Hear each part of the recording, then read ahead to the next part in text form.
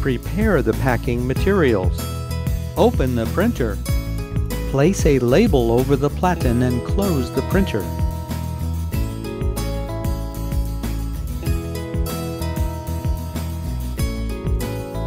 Wrap the printer in the plastic bag.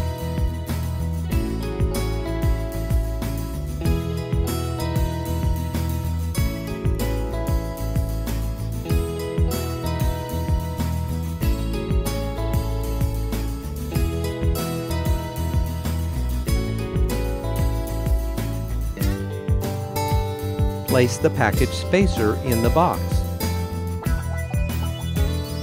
Place the printer in the box.